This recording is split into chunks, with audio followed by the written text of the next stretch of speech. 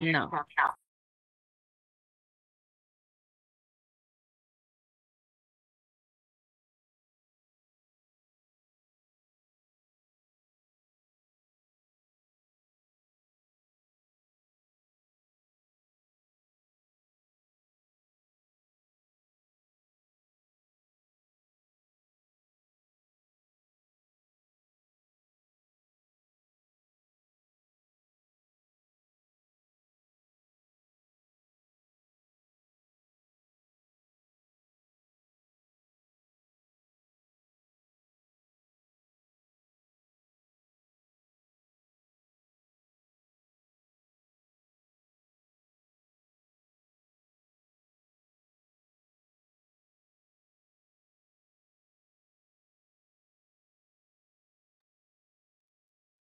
Uh, good morning, good evening, and uh, greetings everyone wherever you are in the world right now.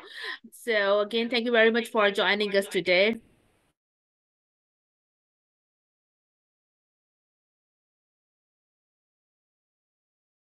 You all know that there will be a quiz after this uh, program, this webinar, and you are supposed to just, uh, you know, write down your, just to try to do the MCQs and submit it. It is a non-graded quiz, and after submission, you will be able to get your own personalized certificate immediately, immediately after the submission of your um you know your uh quiz so again please use the chat box i think uh we do have this chat box function uh, working for everyone. Please use the chat box to share your questions and your comments so we can take up after the end of this session and discuss it during this uh, program. And in my group, in my WhatsApp group, you might have seen that uh, um, I have shared some of the you know interesting points for you to discuss and uh, to read so that you can have a better insight of the lecture i know it's a little bit of a, different topic than usual so um, i've got a special interest in robotics and as you can see i have announced that there will be three attendees who will be receiving the free copy of my book on robotic neurosurgery um, and i will announce them on uh, you know my whatsapp group i will share the link of my whatsapp group in the chat box uh, in, in a in a in a moment. So please stay tuned. And again, thank you very much for joining in today. I hope you all have read the papers I have sent to you, and uh, they are quite relevant. Please join me tomorrow as well as Professor Hugo Stupau delivers his lecture, and it's another important topic to discuss. So I'm looking forward to welcoming you to tomorrow as well for the news uh, webinar. Thanks again for joining.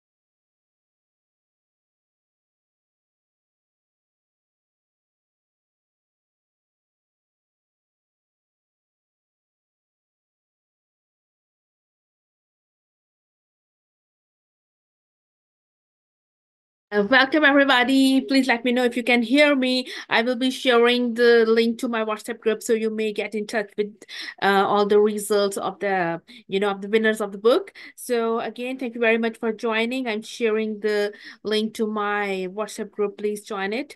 And uh, again, as I have told you, three of the attendees will win the free copy of my book on robotic neurosurgery. And um, this uh, webinar will be followed by um, by a quiz like always so that you can just submit it. It is a non-graded quiz and after submission uh, you will be able to get your own personalized certificate delivered directly in your inbox through your email uh, immediately after submission of the quiz. Please let me know if there's any issue.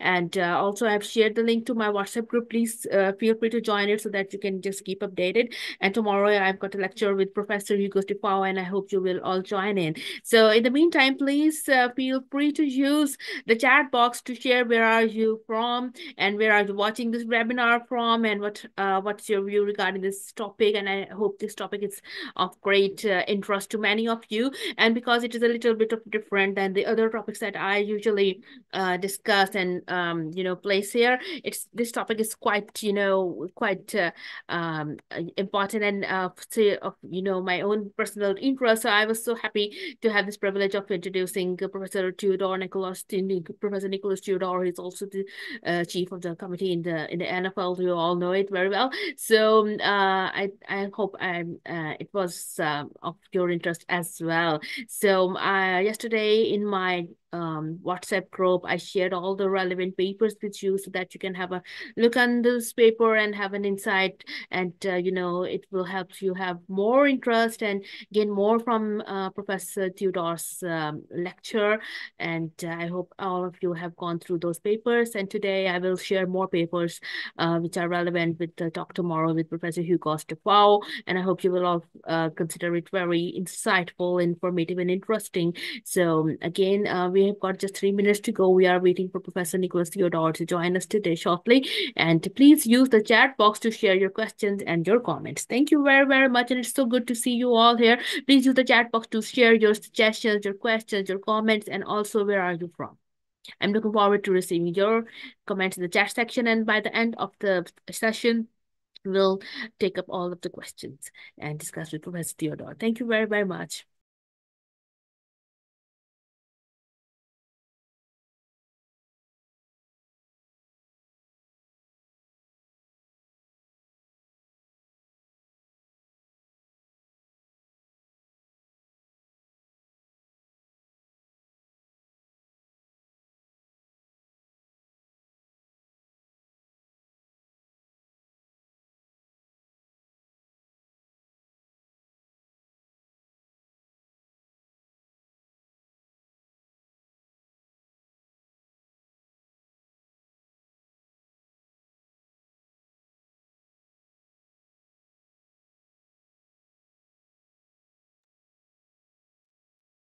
Hi, Professor Tutor.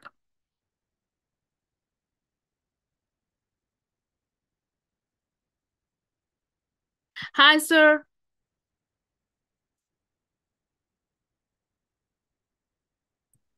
There Hi, we sir. go. Hello.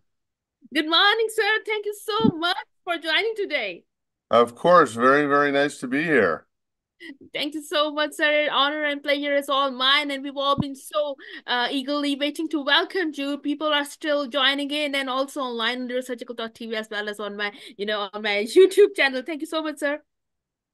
My pleasure. So let me see here. Am I, am I able to share screen, Noor? Yes, sir. Sir, you are the co-host now, so you can.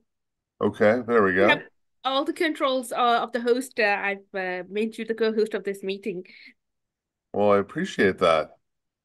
Thank you, sir. Sir, thank you very, very much. I know it's been so hectic for you and all with all your schedule. So it means so much to all of us uh, to have you here. And uh, for thank you very, very much, sir, for spending time from your very, very busy schedule. We all know uh, about your timings and everything. So it means so much to us, sir. Sir, I think that uh, people are slowly joining in. I see that. Wow. Yes. Thank you so much, sir. Sir, and many congratulations on the very successful Super Bowl. well, my my team my team the the uh, Baltimore Ravens unfortunately was not in the game, so that was the that was not that was the bad part. But uh, it was exciting to be there for sure. Exactly, sir. So there, it, it was a very it, it it has a lot of hype associated with it in Las Vegas and all the things, the Taylor Swift and all those things that um even many of the women were lined in to see the NFL. It was so, as I think it was a very golden um event of the year for sure. Absolutely. Are you are are you a Swiftie? Yes, sir. I'm a Swiftie. So I I I'm so happy it went all too well. it was it was quite exciting to be there. It's I've been the last few years I've gotten to go, and it's it's always exciting. There's always a lot uh, going on, but this was uh, in being in Las Vegas. There's even more excitement and more things. So it was uh, it was really a, a very special event for sure. Exactly. So it was very exciting, and it was a uh, quite a uh, you know it was quite a tie, and the last moments were very very much uh, exciting and thrilling for the viewers and all those who were watching online. I guess. so, so my were... question is, would you have been a football fan even if Taylor Swift wasn't there? That would be a 50-50. I guess I will be still a football fan, but I'm a more football fan after Taylor Swift. so it's a 50-50. All right. Will you let me know when uh when you'd uh, like me to start? Do I, can I, and there are people I keep getting admit messages. Are you able to admit them, Noor? Yes, I can admit them. So I think the uh, people will keep on joining because uh, when once they see that uh, the program has started, they start to join more. So actually, many of my viewers are in the part of the world where we have the fasting uh, going on uh, in Ramadan, yes. so that they may have it may take a little while. Sir, I want uh, I would like you to start this lecture immediately uh, for sure now because I know I don't want to keep you waiting for so long. So, no, sir, I. Fine Thank you so much, sir. I, I believe that we can start the lecture because the attendees will keep on joining lectures, seeing they're still joining in. So they will keep hopping in the in in, in you know during the meeting. So I believe okay. that we can start it. Sir, uh, I would like to give a short introduction. Obviously, all of us know you so so well, but I would love to, you know, say a few words of introduction. Please. Thank you very, very much. So again, thank you everyone for joining us today. I'm so much thrilled to welcome you all today in this very amazing something of my great interest. And um, um, it's a matter of great honor. And in Greek, they call it Megala Themi to welcome Professor Nicholas Theodore, who is the Donlin M. Long Professor of Neurosurgery, Orthopedics, and Biomedical Engineering at Johns Hopkins University School of Medicine and the director of Johns Hopkins Neurosurgical Spine Center. He is nationally recognized expert in brain and spinal cord injuries in minimally invasive spine surgeries and robotics. He's an award-winning teacher and a researcher with immense contributions, um, you know, Terestia Sim Simwali in academics and research as he has written and co-authored about 30 book chapters and over 180 peer-reviewed papers. And um, NFL named Professor Nicholas Theodore as the chairman of NFL Head, Neck, and Spine Committee. And it was great to see the Super Bowl. And since I'm a fan of Taylor Swift, it was nice to see her team not losing, better than bruising. And we could see the high five between the good guys. So Dr. Theodore is actively involved in preventive medicine with the neurosurgery surgery and has served as the medical director and the president of the Think First Foundation, a national injury prevention and educational organization focused on brain and spinal injuries. It's a matter of great honor and joy to welcome you, Professor Nicholas Theodore, to uh, the news webinar series. I think we are we were so excited and we've been waiting for you so eagerly. So thank you very much, sir, for uh, sparing time from your very busy schedule to deliver your amazing lecture today. Thank you, sir. The floor is all yours now. Wow, what an introduction. Thank you, Noor. It's uh, ab absolutely my pleasure uh, to be with you all this morning. Uh, it is phenomenal what you've done putting together and gathering people from all over the world uh, for this lecture series. I was able to go on your YouTube channel. I think it's fantastic. And I think the dissemination of information has changed. We're printing things, we're writing papers and looking at old journals, and I still have stacks stacks of old journals on my desk, but I think this is the way of the future uh, for communication. You know, being able to to deliver high quality content to people throughout the world. So it is absolutely my pleasure to be here. What I'm going to speak about today really is the intersection between engineering and neurosurgery, but also specifically in spine surgery, and show you some of the things that I've been working on and where I think our field is going to go. when you know when people talk about uh, you know robotics and neurosurgery, they they think about looking at these science fiction movies where you know the robot is doing the surgery, and you know this is in a in a spacecraft, and this woman is going to inject herself when the robot's going to come in and operate on her. And the reality is that we're not quite there yet. We're not to the point where uh, we're going to have a robot do a surgery by itself yet. But we will at some point uh, get there. So I think that uh, these are my disclosures, uh, you know, some of which are relevant. When we talk about spinal surgery, it's very interesting. This was Joseph Ransohoff, who was the chairman at NYU for a number of years. And, you know, my favorite quote here is academic spine surgery is an oxymoron. No self-respecting neurosurgeon would ever focus their careers uh, in that area. And I think that, you know, this was 25 years ago, almost 30 years ago now, and uh, nothing could be farther from the truth. I think the specialty of spine surgery uh, has evolved, and I think we've gotten the recognition that this is a, a discrete knowledge base and a, and a very special uh, subset or, or division or uh, area of neurosurgery. So this is where I'm coming from you today. I'm I'm I'm over here uh, on the right side.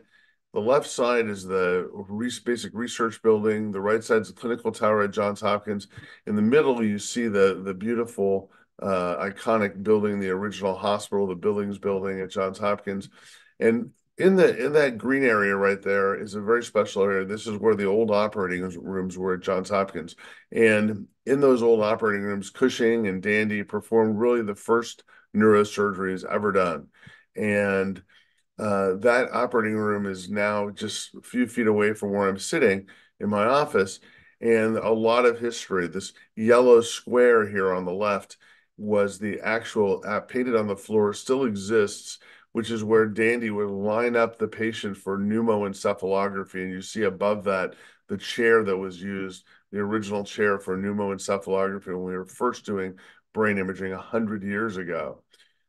And in that operating room now, is, we see technology. And what we've done is taken those same operating rooms now and made them into an engineering center. So the operating rooms of 100 years ago are now 3D printing, surgical training, conference rooms, robotics labs, image guidance. So here at Johns Hopkins, we have a very rich collaboration between uh, surgery and biomedical engineering, and, and I'm very proud to be part of that. When you look at the history of sort of how things go in neurosurgery and, and what is serendipity and how engineering works, this is Walter Dandy. And Walter Dandy wanted to look into the brain, look into the ventricles and see whether there was a problem. And, and at that time, they thought maybe the choroid plexus was over secreting spinal fluid, which was causing hydrocephalus. To look in the brain, we didn't have endoscopy as we know it now. Walter Dandy borrowed from the urologists a, a cystoscope and took that very cystoscope. Hopefully, he washed it before he used it and used that cystoscope uh, in the brain to be able to uh, to to look and uh, evaluate for tumors, look at the choroid plexus, and at the time perform an operation fulgurating the, the choroid plexus. Think about that though, never existed. Endoscopy in the brain started here, but started here utilizing tools from another specialty in urology. The gentleman on the left is William T. Bovie, and William T. Bovie was a biomedical engineer at Harvard and developed, as you can imagine, the Bovie device. And you can see on the right, Harvey Cushing here in the middle, utilizing the Bovie device. That was something completely new uh, at the, you know, in the early 1920s. Imagine doing surgery now without electrocautery. It's what we need, what we use every day. But again, part of the combination between engineers and surgeons coming together to solve problems. This is James Greenwood, who is a neurosurgeon in Texas. He was also a, a, ham radio operator. He was the one who would use Morse code on the radio. And in uh, building his own devices, he was wondering whether or not you could electrify the tips of the forceps he was using. And that, that spawned the usage of the bipolar device, again, developed by a neurosurgeon because we didn't have the ability to very finely coagulate vessels. And this device really changed everything for us. And then you look at some crazy things. This is Jose Delgado in Spain. Jose Delgado really was the father of um, functional neurosurgery. And he thought, well, can I implant an electrode in the brain of a bull? And maybe I'll push a button and the, the bull won't attack me. Now, he was a very smart man because he sent his assistant into the ring. It wasn't him actually in the ring. But uh, imagine putting this electrode in the bull, and every time the bull goes to charge, he pushed a button and the bull stopped. And we'd had some excitement up until the, the 1970s and early 1980s, and this was Dick Berglund. And I think there was a time in neurosurgery around the, the late 70s and early 80s when we didn't have a lot of new things happening, and it was a very difficult specialty. And you know, Dick Berglund said, well, you know, I think neurosurgery, we really stopped evolving. Nothing is new. And I would argue that nothing could be farther from the truth. So this turned out to be completely wrong. And if you look at neurosurgery today, and if you look at the technological innovation and advancements in neurosurgery, you realize that in our specialty, probably have more patents, more activity going on with intellectual property than any other specialty. So you know, between 1960 and 2010, there were 11,000 patents filed in the neurosurgery space. It's amazing what's going on. I think one of the most game-changing developments for us in neurosurgery was image guidance, the ability to see where we are in three dimensions. This is Watanabe from Tokyo, had the first arm-based stereotactic guide where he could touch that device on the brain and then look onto a screen and see where where he was forever that changed the way we did surgery. And we did this in spine surgery. I was a very early adopter of image guidance in the spine. And the reality is that it was very cumbersome at first. So we would hold the guide, and as I hold the guide, we'd put the K wire in. And while we could do things through very small incisions, uh, it was very cumbersome. And one thing I noticed at this time was that our attention is always looking somewhere else. We're looking at the screen. We're not paying attention to the patient. In spinal surgery, what we're looking for is high accuracy and high uh, precision. We want to be able to hit the target every time. And the fact of the matter is, with image guidance, we can get uh, more, you know, more accurate. But again, that reproducibility has been an issue. When you look at uh, honest appraisal of how we do putting in pedicle screws, which is a very basic function of spine surgery, about 9% of the time, screws are breached. So again, freehand, about 9% of the time, and I've done this for 30 years, the a screw is not going to be where we want it to be. When you do things freehand, you know, the the accuracy rate is overall is about 68%. When you start adding X-ray, we go up to about 84%. And when you add three-dimensional navigation, we get up to 95%. So we can definitely do better by using enabling technologies such as image guidance for Dr. Francis. Oh, yeah, he's okay. Just okay? Guess who just got reinstated? Well, not officially. Nervous? Yeah. Yeah, me too. Don't worry about it. We'll figure it out. I'll see you in there.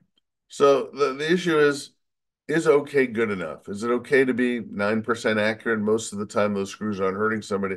I would argue that it just takes one misplaced screw. This was a tragic case in the United States where this one screw paralyzed this young girl, went in for routine scoliosis surgery. And the fact of the matter is that, you know, we definitely have to strive to do better. And one of the ways that we can become better is through the usage of enabling technology. Interestingly, when image guidance first came out, it was difficult and the adoption rate was low because uh, it was low because people didn't want to work on uh, extra time that, that was needed. And I would tell you that now I think we're to the point in the United States, at least, where we're crossing the chasm. In other words, enough people are now adopting image guidance that this uh, will change the way we do things. We're at a very special time now in surgery. In it, the culmination, we have improvements in imaging, improvements in surgery, and now we have the advent of robotics. So we have image guided spinal surgery for the last 30 years. We have surgical robotics through the Da Vinci and others, and now we have the ability to put all three of those things together, uh, utilizing imaging, image guided surgery, and robotics to put all of those things together. So what are we talking about? When we talk about the automation of surgery, this was the Fyodorov Institute in 1980 in Russia. And Dr. Fyodorov was doing radial keratotomies.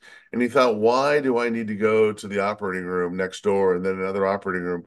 Why can't the patients come to me? And he built an operating room where you can see here where the patients are all lined up, anesthetized, everything is ready. And then he's able to do the radial keratotomy, push a button, change his gloves, and then the next patient rolls in. So you can see eight patients here lined up for surgery. And the, the volume that he did was amazing. He got to be very good, and people came from all over the world. Again, how do you automate that procedure? When we talk about robotics, people get worried. They worry that the robot's doing something that the robot can make a mistake. This was a case uh, in Australia during a, a international chess tournament where the little boy was playing against the robot and they're told not to put their hands out when the robot's playing. And of course look what happens. His hand gets trapped and crushed by the robot. You've got to be careful. When we talk about robotics in medicine the the first usage was here. This is russell taylor who's a biomedical engineer here at Johns Hopkins, really the father of medical robotics. This is RoboDoc. This is the first medical robot that was used for coring the femoral shaft. And, uh, you know, again, we, we realized that we could bring robots into the operating room to help us do what we do. This is the AESOP device. This was a device that held an endoscope. So when we were doing, when people were doing thoracoscopic surgery, endoscopic surgery, we would put a portal in the chest We'd used to have to hold that that camera while we were doing a thoracoscopic sympathectomy or discectomy, but we realized that a robot could come in, and this is a very simplistic arm, and all it did was hold the endoscope. This is Curtis Dickman, and Curtis Dickman was one of my mentors at the Barrow Neurologic Institute. And Curtis, you know, was was ahead of his time. He thought, well, let's bring this robot in to hold the endoscope so that the resident doesn't have to hold the endoscope for eight hours while I do surgery that got me thinking, you know, and it was at the right time to be in a place where uh, we were using that type of technology. That around that time, the Da Vinci robot was coming out for telesurgery. Recently, the Mako robot has come out for uh, knee surgery. And robotic assisted surgery is exploding now. When you look at the number of robots out for general surgery, for orthopedic surgery, for neurosurgery, this is really changing our field. And our field, I think, is not going to go backwards at this point. When we look at the science, uh, you know, of robotics and, in, especially in medicine, we can see that almost every specialty are looking into ways to enhance the surgical experience and improve our outcomes by the usage of robotics. Right now, we're at a phase called task autonomy, where the robot uh, performs certain tasks guided by the surgeon, but we will get higher up into this where we've got conditional and high autonomy, and then ultimately full automation, where the robot could potentially do a surgery by itself. That will happen, but that takes time. Right. What are we looking for in spinal surgery? We're looking to automate our accuracy. We're looking to be able to hit the target every time. And you can see this as this robotic arm throws a dart, it hits the bullseye every time. That's what we're looking for. If we use the analogy of NASCAR, this is a famous racing in the United States. This is from the 1960s. You see the car comes in, they're going to go out, they're going to change, they're going to do some fender work. Look at the driver says, My fender's broken. Can you fix that? Sure, we'll go ahead and fix that. We'll smash it in, make sure everything looks okay. This guy will check it too. We'll put some gas in and you're on your way. If you look at surgery 20 years later, 1984, how I learned to do surgery, we would palpate the medial edge of the pedicle, we'd find our entry point, we would triangulate, we'd make a hole with an awl, and then we'd cannulate the pedicle. Open, big incision, wide open operation. And that's how we would do uh, pedicle screws. We fast forward to 2016, NASCAR has changed. So now, in the course of about 13 or 14 seconds, all four tires are changed, oil's changed, gas is filled up, complete safety check is done, and the car's out. So why can't we do that in surgery? Well, we can't. So now, you know, in 2023 and 2024, with the usage of robotics, in the first five minutes of the procedure, I'm able to place the hardware. So I've got screws now going in in about four minutes.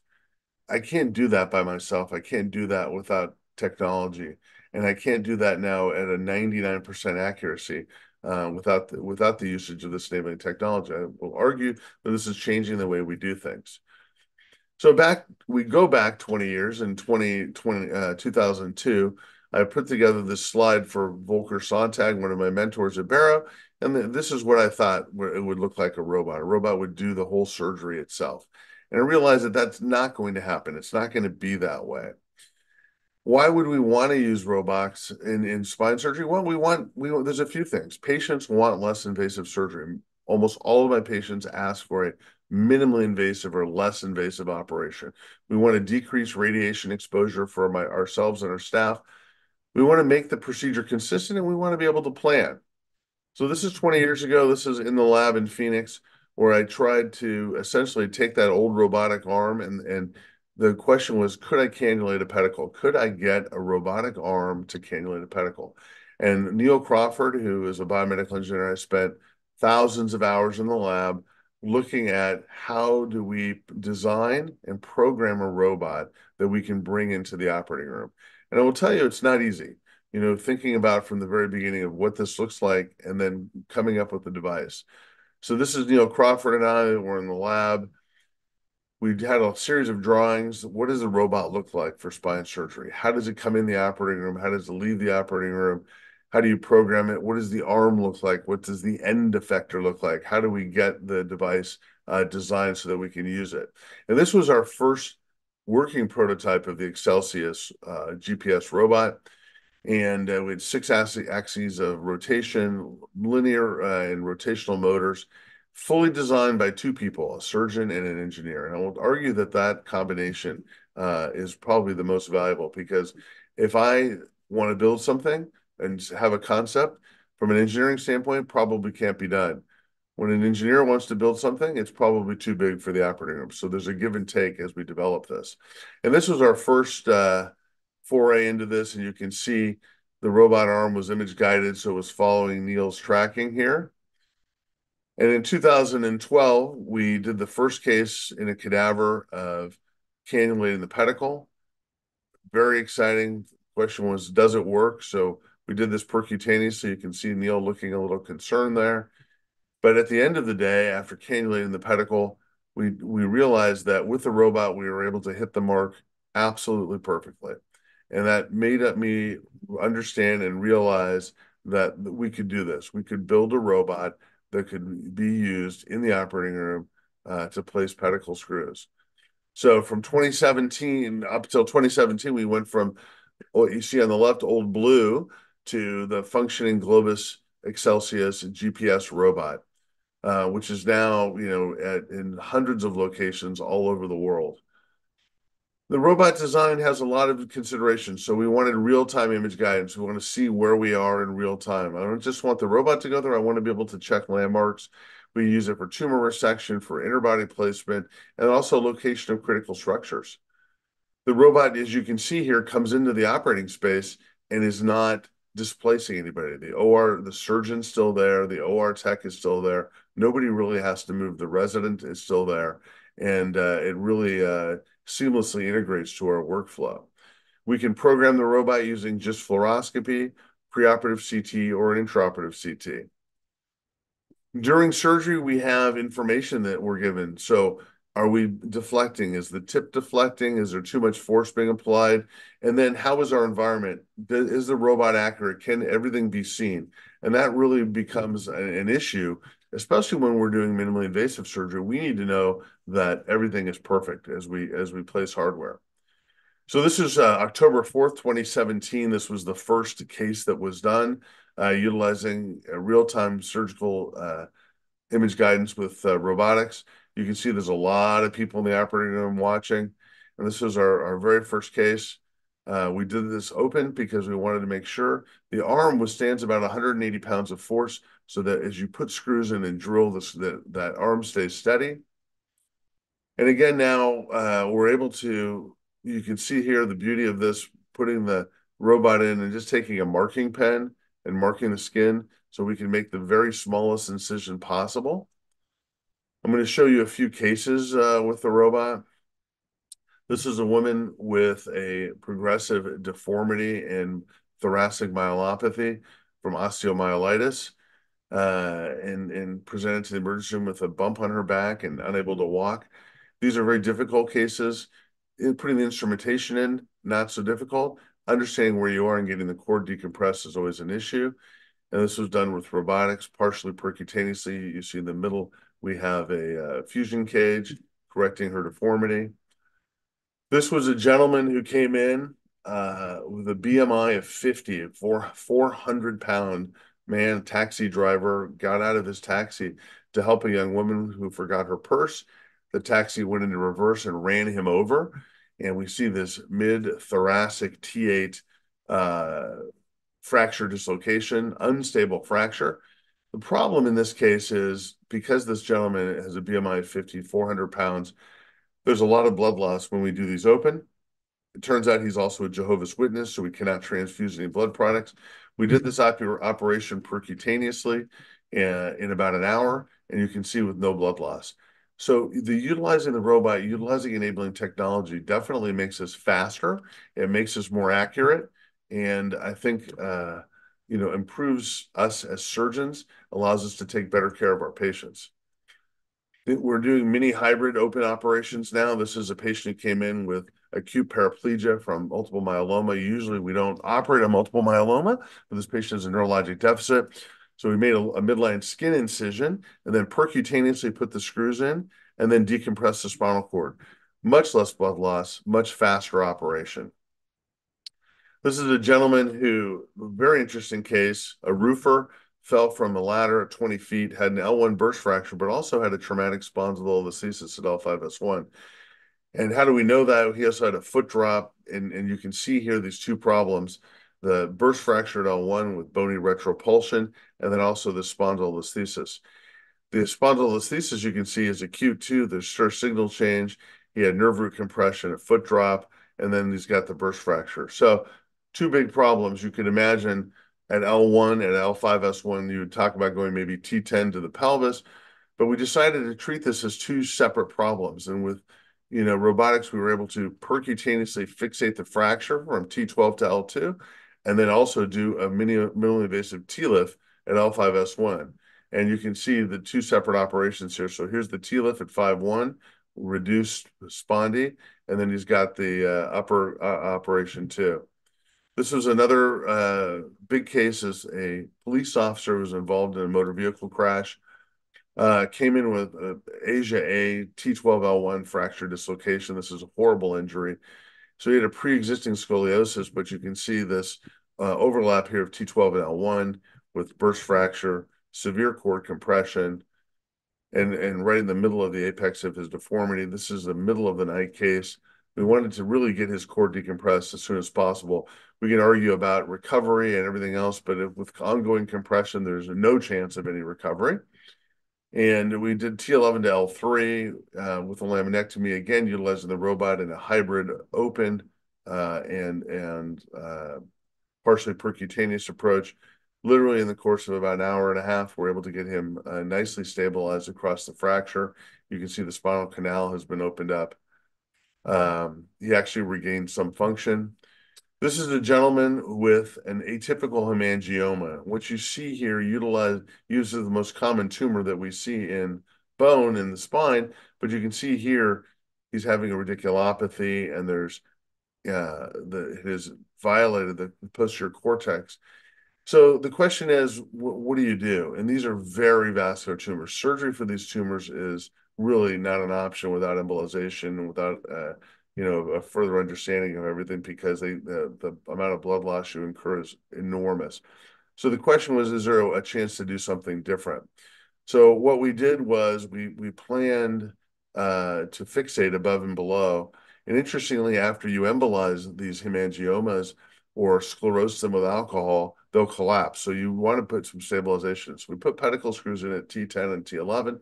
Then we cannulated the tumor. And in surgery, actually did uh, with my endovascular colleague an intratumoral uh, ablation you know, uh, embolization with Onyx in real time. So you can see our screws are in, you can see the catheter in now with the Onyx, you can see the feeding vessel there. And we embolized the tumor, went home the next day. Uh, symptoms resolved, that part that had had broken through the cortex regressed, and uh, beautiful outcome here in a uh, you know uh, for with a much less invasive fashion. We're now doing cervical uh, cases with a robot. This is a 60-year-old patient uh, with uh, fracture dislocation. So he's got a hangman's fracture and also has significant stenosis and myelopathy. One of the things we do usually with the hangman's fracture, you're relegated to, if you go from behind, having to fuse from C1 to C3, but the things were well aligned. So we actually placed screws here, fixing the fracture across the fracture segment at C2. You can see that capturing the fracture fragment. So we're able to spare him the motion segment of C1, C2. Robotics now we're utilizing here at Johns Hopkins and throughout the world for uh, for cranial surgery, deep brain stimulation, biopsy, etc.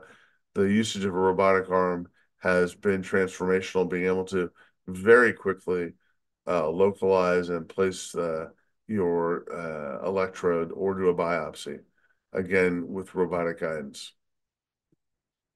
So what did we learn? A few things. When when we we first learned that we now have a different way to look at accuracy, right?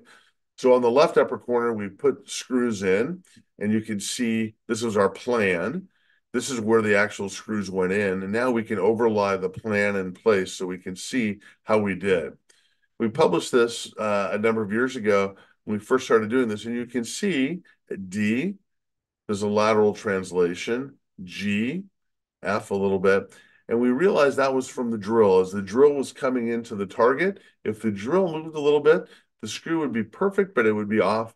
It would be uh, displaced a bit laterally. So we've now all but overcome that utilizing a new drilling technique. And now we've just published this last year looking at uh, screw accuracy in three dimensions. So not is it in bone, is it not in bone, but in the three-dimensional space, how accurate are we? When we look at the knee uh, robot, which I showed you before, you know, the knee surgeon said, well, I can drill a knee myself. I don't need a robot. Well, it turns out in the knee literature now, we're finding that usage of the robot definitely improved in the long run patient uh, outcomes because, and it would probably because of the, the accuracy of the jigging. So with pedicle screws, if we can put larger screws in, if we can put longer screws in, we'll have less failure. And if we can avoid violating the adjacent facet, maybe have less adjacent level disease. When we talk about learning curve, we looked at this here at Johns Hopkins. What does it mean? When people talk about adopting new technology, there's always a learning curve. It's hard at first. We realized in our first 28 cases, we matched them with 56 controls, and we found that we got better with time. So we started off, you know, taking three, four hours, we got back into the very end here, taking about two hours for these cases, and we're getting even faster now. We looked at this now also, uh, you know, stratifying this learning curve, trying to figure out what is the what are the magic numbers, and it turns out that proficiency, getting proficiency with robotic spine surgery, takes about 20 cases, and the operative time continues to decrease even after this phase. But your first 20 cases, and then at 61 cases, you've reached you've reached mastery. At 61 cases, so people will argue that well, this takes too long to learn this. I will tell you that it takes longer to learn freehand pedicle screws, and the and the reality is that if you this can collapse the time of the procedure, get the patient out of the hospital sooner, which we've proven, probably a, a, something to think about adopting. We look at who's being trained now. My residents, the millennials, love technology. They love the exposure of this technology, and they love being able to uh, to use these new things. So what's next? This is uh, this is in the lab here across the hall, and I'm utilizing the bone scalpel and a cadaver through a robotic arm, and we're now training the robotic arm to be able to make cuts, make laminectomy cuts, make uh, cuts for osteotomies and things like that. So the next phase of the robot will include uh, the ability to help guide us through bony removal, which will be the next part of the surgery. And then what's past that? This is Axel Krieger from Johns Hopkins. We're talking about autonomous surgery. If you have a camera and and the machine vision understands what's happening, you can actually program a robot to take these pegs and move them around with no human uh, interaction at all. So that's pretty exciting. Other things that are coming uh, to be, this is a company out of the Netherlands called MRI Guidance. We published a paper on this. We they can take an MRI scan, which you see on the right, and convert it into a CT.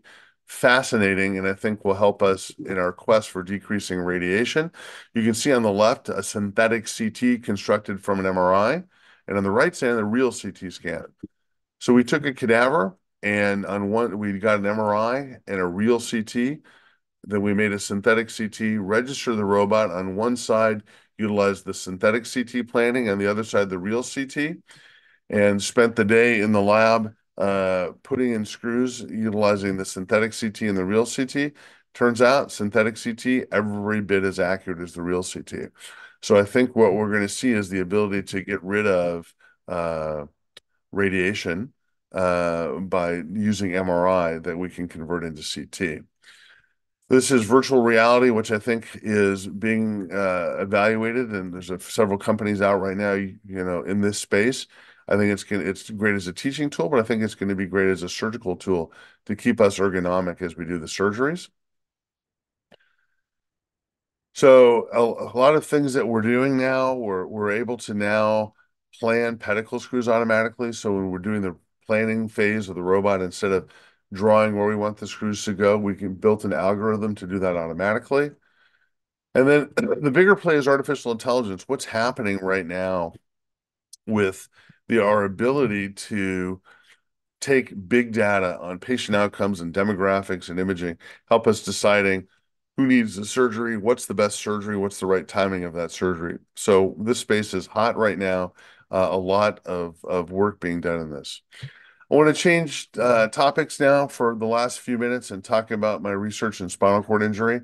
Um, I was a recipient of a large grant from DARPA, the Defense Advanced Research Projects Administration, uh, looking at building next generation technology for spinal cord.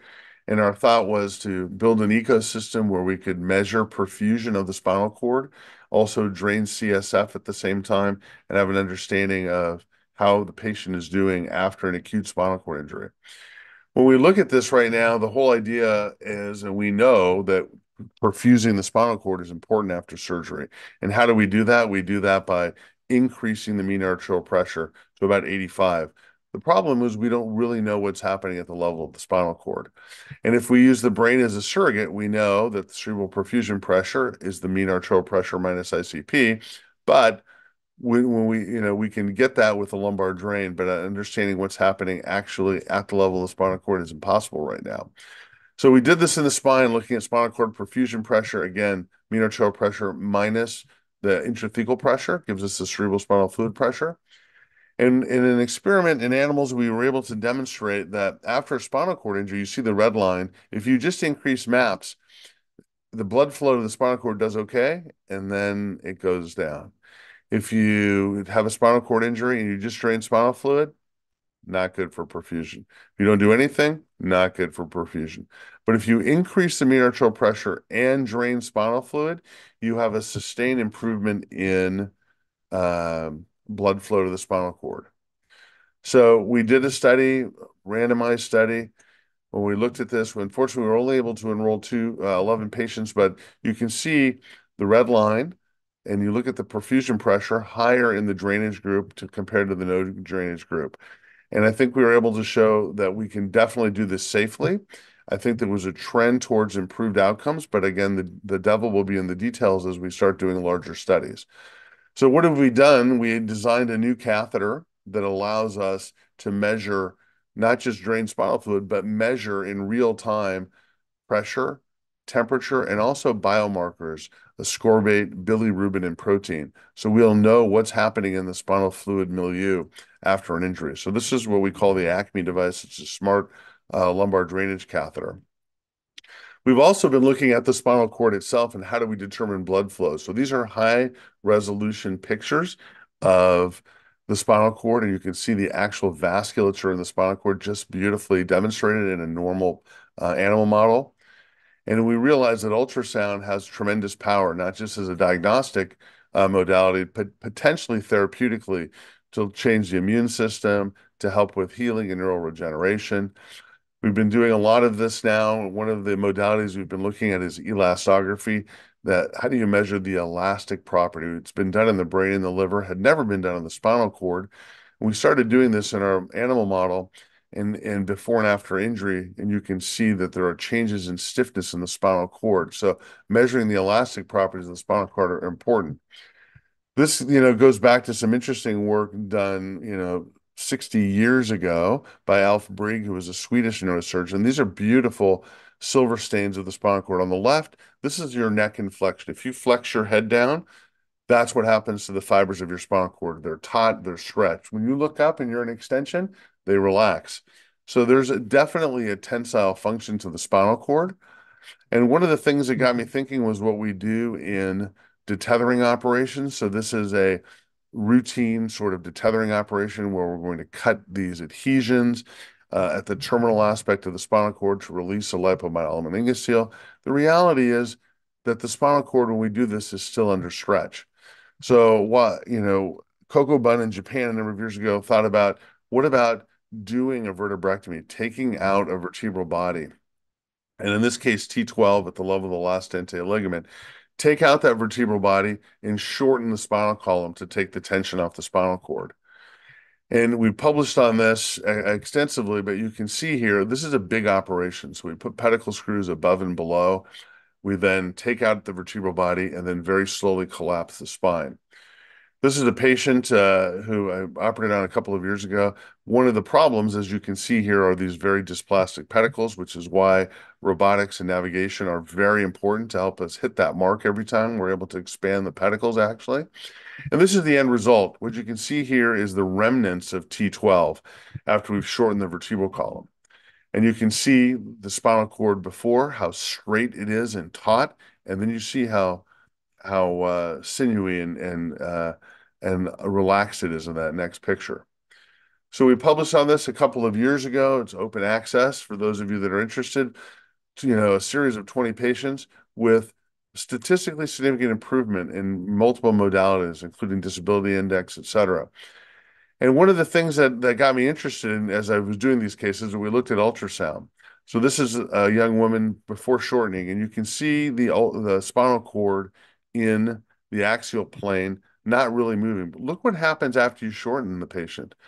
The spinal cord becomes a little thicker, and look at it dance in the spinal fluid. That's a normal pulsation of the spinal cord. That happens after we take the vertebral body out and shorten the spinal cord. So we now have multiple cases of elastography where we're measuring the, the stretch of the spinal cord. And what we can show you here, case one, taut spinal cord, when we reduce about 50% and then 100% reduction, you can see a, a, an improvement in the uh, elastic properties.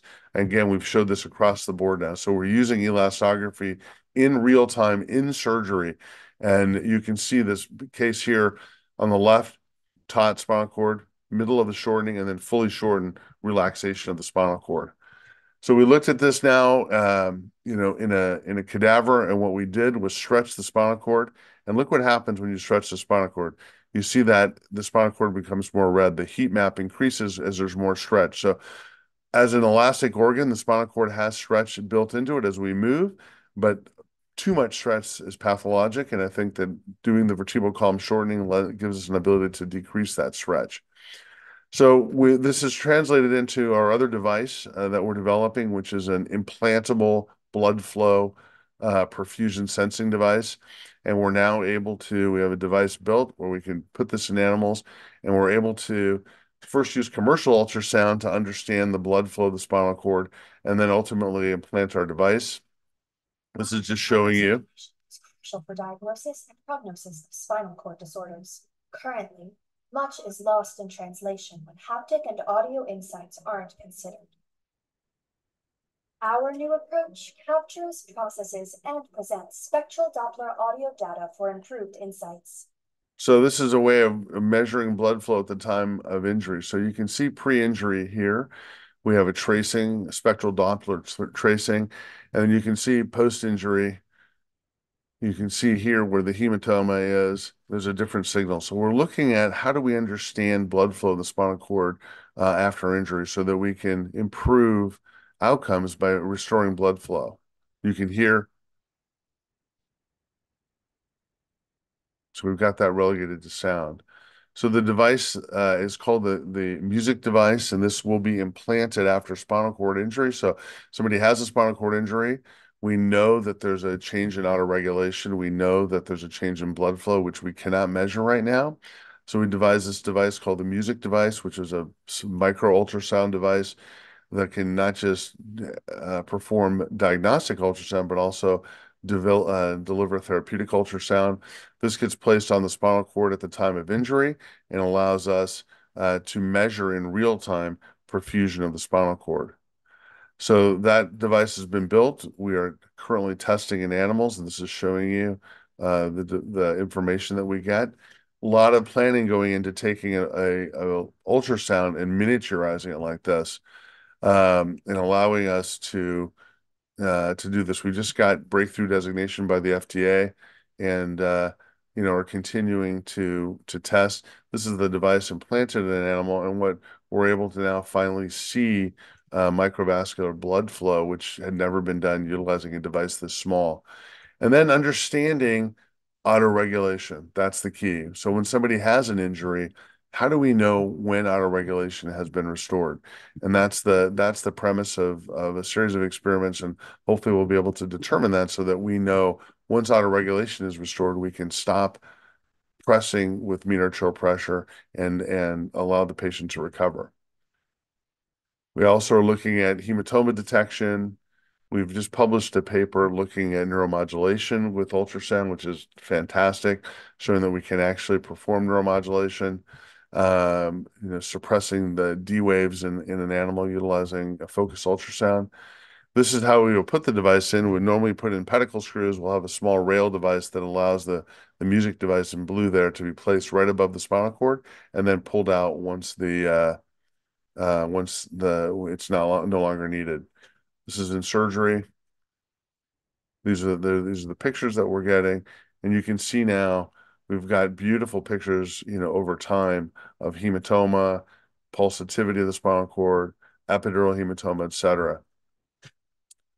And this is the one week course. You can see the spinal cord in the middle here, and you can see over a week uh, pulsations and how things change during the healing process, and giving us early insight into what's happening without having to get multiple MRIs or other images ultimately the goal of this was to bring everything together to have this real-time perfusion measurement of the spinal cord and then also couple that with a catheter which would allow for closed loop drainage so we know when the pressure gets too high and the perfusion drops that we drain spinal fluid to improve those parameters so this is a work in progress we hope to be starting clinical trials in the next year uh, with our colleagues over at shock trauma at the university of maryland and that and our lab has really been very robust. We've got devices for spinal cord injury. We are developing a patch to detect deep venous thrombosis. We have a cranial ultrasound patch we can which can detect early hydrocephalus or hematoma expansion. We also have a patch for uh, trauma situations for blood pressure, and ultimately really utilizing ultrasound and and engineering focus to develop new technologies for medicine. Finally, we'll talk about another project we're looking at, which is liquid biopsy for myelopathy, having a blood test to detect uh, myelopathy. I think, you know, ultimately, I think we're in a very special time right now in neurosurgery and spine surgery. Really, technology has forever changed the way we do things. And that intersection between surgery and uh, engineering is a very crowded intersection.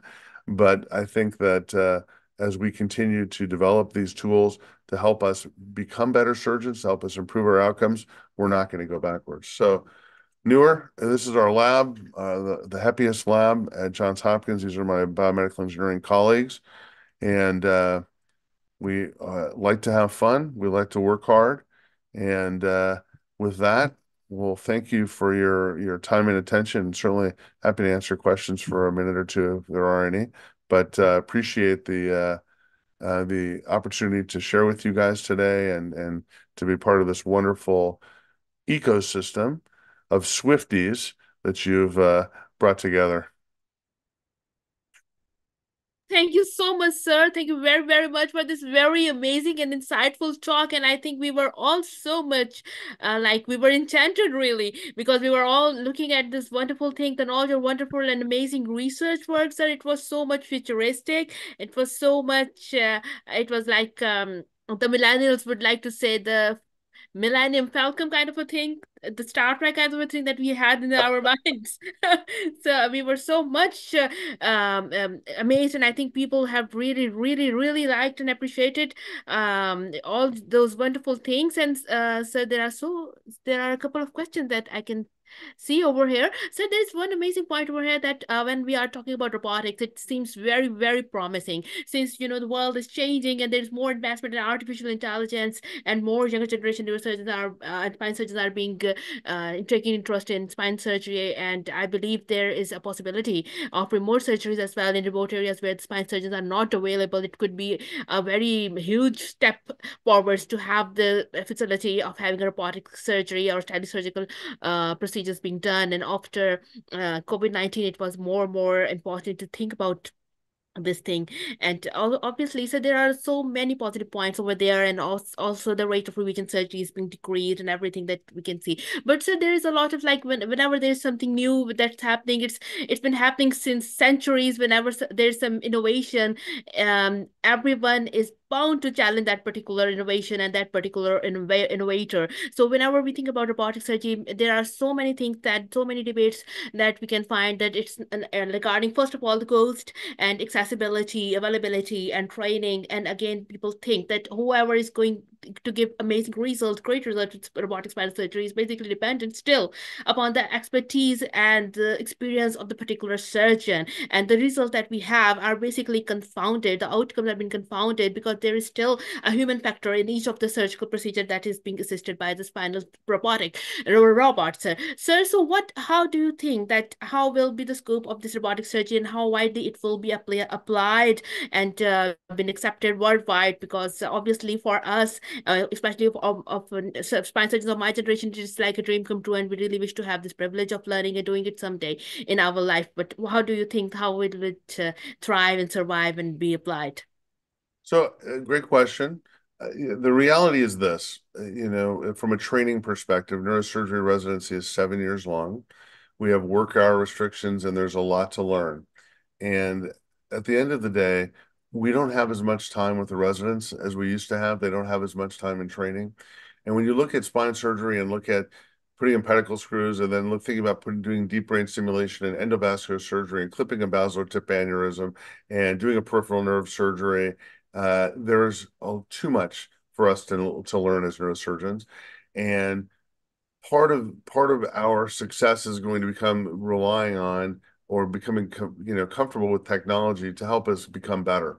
So what I will say is that again, you go back to the millennials in, in my in my current residents, they all want a robot because they realize that the surgery is faster, they can do it safer. It's a different way to learn it, and I'm not saying that you can ever supplant the knowledge that you need to of the anatomy and how to do the operation. But if I can do that operation now in half the time with no blood loss and the patient goes home the same day, why would we be doing something any differently? And I, and the reality is that will come slowly. The older generation always is going to question. They don't need it. My job is not as a salesman. My job is an educator. And as I teach the next generation, they're going to real know how to do things each way. They're going to pick what's best for them. But I think oh, there's a lot of driving forces here. To as far as the the other point is, as far as you know, availability goes, it is expensive technology. It is not going to be adopted, you know, all over the world, you know, in in resource constrained areas. Although it will be at some point, the cost will come down, and it will, you know, change. Obviously, if, if your hospital doesn't have electricity, there's a lot of things you can't do. But, you know, I, I think over time, uh, as we see this technology gets rolled out in areas where it can be afforded, and then it becomes more cost effective, it becomes more standard, and then we're able to uh, to translate that to to everybody. and that's the goal. Exactly. So it's it feels like a like a really a living like a dream and like a dream come true for many of us. So it's it's like a huge thing for us to think about. And so there are all there's also a concern regarding its application in the ambulatory surgical centers because there's a lot of trend of the ambulatory surgery centers being uh performing some spinal procedures. I think that would be amazing if if, if it gets applied. But again, they say that the ghost is is the main problem. And I think it is basically a little bit of like uh, uh something. It's like uh, I believe that it's like taking a step forward and it's it's a little bit of uh concern that many of the people have in their mind regarding cost and as to everything. Yeah, cost is important, and especially you're you're absolutely right in ambulatory surgery environment where you have to keep the cost down. You know, again, the, the, it will be a sliding scale as you know, if I can still get the patient out of the hospital one day in the hospital, we're still saving money. So does it need to go to ambulatory surgery? Not necessarily. If I'm performing ambulatory surgery center in the hospital, let the hospital bear the cost of that technology and have the patient go home the same day. That's an option as well. Doing it in an ambulatory surgery center, eh, from a cost perspective, certainly the costs are lower overall. And, you know, in most of these cases, there's a surgeon investment in the in the surgery center, which makes it, you know, which makes it nice. But again, as the, as time goes on and as the technology becomes more widely adopted and available, there will be options for ambulatory surgery centers. And that investment that you make will pay off because if you can do a bigger operation in an ambulatory surgery center safely, patient gets discharged the same day, then that's then that those margins become you know greater. That that's great. And also, also, so the rate of revision surgery is also decreased with all these things. So it's amazing. So thank you very much. So there's another question just popped in. Uh, thank you very, very much, sir, for the great presentation. Can I have more information about the role of ultrasound in healing of spinal cord injury and if it can improve perfusion or not? So great question. We are right now, literally yesterday in the lab looking at the effects of real-time focus ultrasound on uh, changing blood flow to the spinal cord. I'm not ready to report that data yet. I do believe that ultrasound will play a role in the, the enhancement of blood flow after spinal cord injury, number one. Number two, there is probably also a distinct effect on healing, blood flow, et cetera. Those are longer term experiments. We are looking at that right now as well.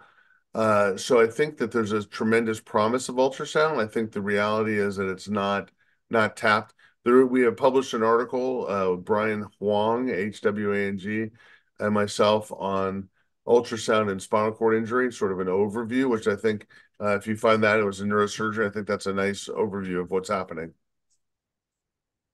Great. So, so there's also, so in our previous webinar, we had this little small discussion about the role of olfactory stem cells in spinal cord injury. And that was also something of interest and everyone was quite uh, interested in that thing because it was so new. So, so what, what's your view regarding this uh, stem cell um, uh, used in spinal cord injury as well? Yeah, I'm I'm not I'm not a believer right now, and I'll tell you why. I think the problem is timing. When do you put it in? If you wait most of the spinal cord injury trials, we wait until the patient's six months out, so we make sure they don't have any recovery. You've then you've got thick, dense scar tissue. I don't know how stem stem cells cannot grow through that. As far as making meaningful connections are concerned, the the the reality is that um, I think the short term major impact we'll have in spinal cord injury will be electrical stimulation Gregoire Courtine in Switzerland and Susie Harkema in Kentucky are putting in epidural electrodes, and we can get patients to walk. That's the bypass. That's the short answer for this problem. We're talking about, you know, an organ that is the size of your small finger, putting in, and when you have a crush injury there, putting in stem cells, thinking that you're going to get uh, meaningful connections. So I don't believe that stem cells by themselves are the answer. And I also don't believe a single drug is going to be a cure for spinal cord injury. That's too naive. The reality is that the most important thing at the beginning is to save tissue. We were doing that through those acute devices I was showing you. And then ultimately, uh, probably a paradigm of electrical stimulation to allow patients to get bladder function back and to walk. That's much more predictable and much easier to do than thinking that stem cells are going to cure uh, a spinal cord injury.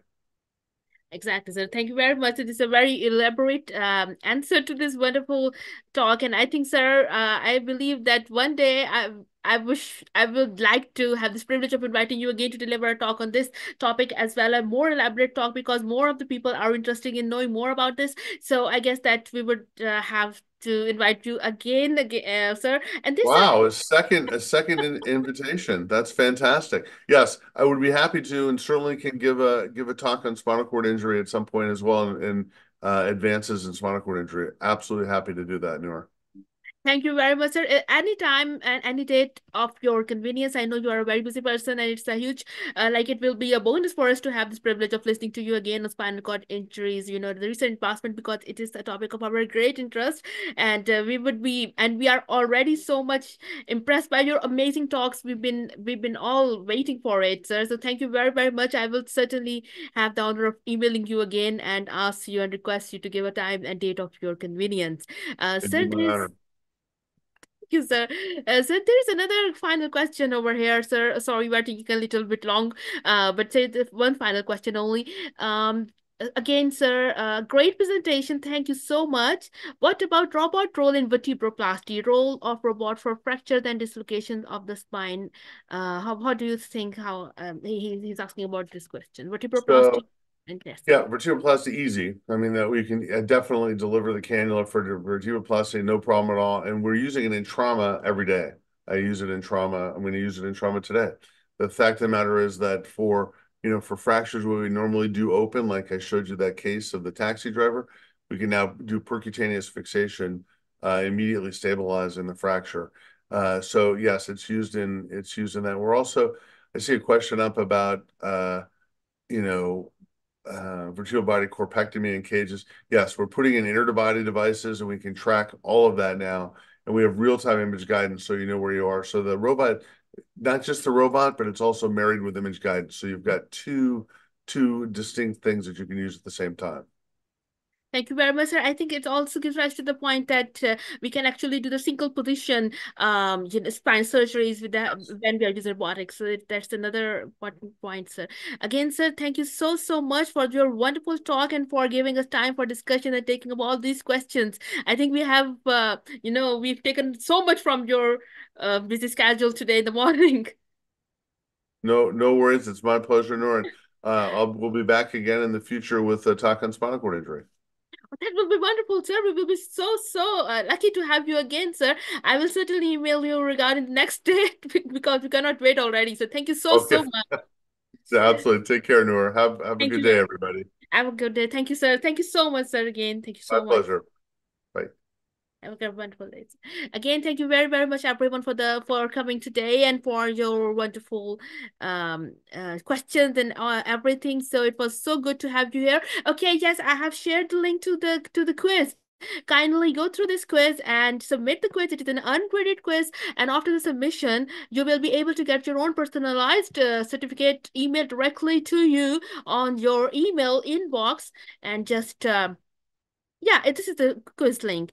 Thank you very, very much. Thank you so much. Thank you everyone for joining us today. So, so it was so good to have you, to see you virtually. And this will also be, uh, be recorded. It will be available on YouTube to be reviewed again, uh, like all the time I do it. So this is the link to the quiz. Kindly submit this quiz right now to get your, to receive your personalized certificates. And again, I want to invite you to deliver talk uh, to the talk tomorrow. We are going to have another talk tomorrow and uh, you are all invited. Uh, that will be, you know, at the details. Okay, I sent you the details over here. Uh, so first of all, this is the quiz link. Please submit the quiz. And uh, this is the you know there is also the link to my uh just wait a minute i tell you the the i sent you the link to my um whatsapp group so you should join the whatsapp group and see. Recording in progress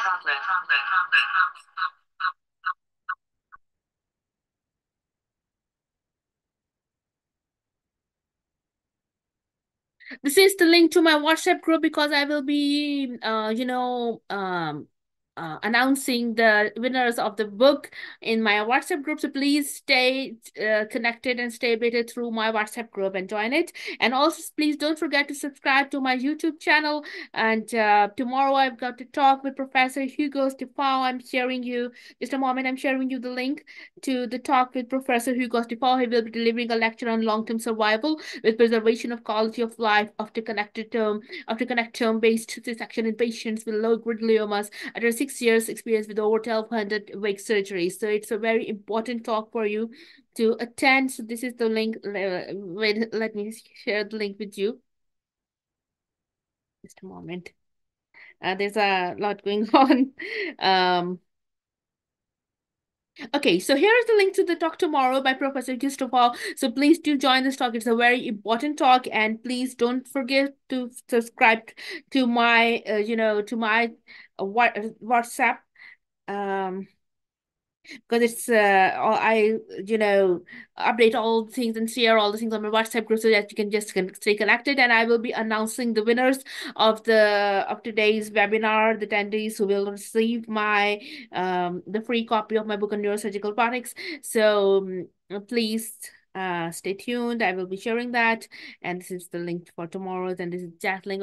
Okay, okay. So everyone, I hope that every one of you has received their um, link to the quiz. Just submit the quiz. It is a non-graded, it's an ungraded quiz so that you don't have to worry about, um, you know, scoring a certain um, percentage to get your, to receive your certificate. You will be receiving your certificate immediately after the submission of the quiz. The certificate will be emailed directly to you. It will be a, a um, you know, um, personalized type of certificate with all your name and the stamp of the news on it. So again, thank you very, very much for joining us today and hope you have a wonderful day and wishing you a wonderful, you know, day ahead the rest of the day and happy Ramadan to everyone who's celebrating and to all my colleagues in Pakistan. I know that tomorrow's time is a little bit of inconvenient for us in Pakistan who will be uh, going to, you know, have iftar time back then. So I would like to, I'd like to, you know, request you to kindly keep your uh, you know, your uh, iftari with you when you uh, log into the meeting because the time is a little bit of, you know, inconvenient.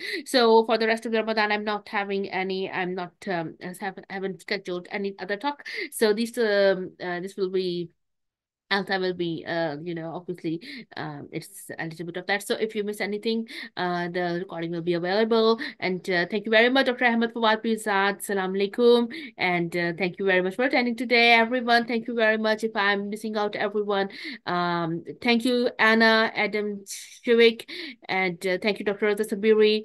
Um, Laura, I think uh, I've already answered your question. This is for your certificate.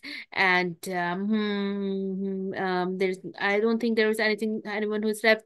Uh, thank you, Anila. Thank you, Sin Sinjab and Zikri. Thank you, Honest Masawi. Uh, although you are from Kilimanjaro, that's that's an amazing place. Um, best wishes from Pakistan to Kilimanjaro, and um, thank you everyone. Thank you so much. I can see your Thank you very much. That was an amazing webinar. Thank you, Medina Kazizi. Um, I, I'm so happy that you enjoyed it. I think it was a little bit of, uh, you know, more insightful. Um, okay, thank you very much. Thank you, Sindad. Oh, that's great from Tunisia. It's a beautiful country. And uh, thank you, Dr. Rahman. And um, um, whoever is there. Uh, greetings from Peru. Thank you, Alejandro Martinez. And uh, Thank you, everyone. Yes, the quiz has been shared and you have all those. Thank you, Dr. Ahmad Al-Fiki.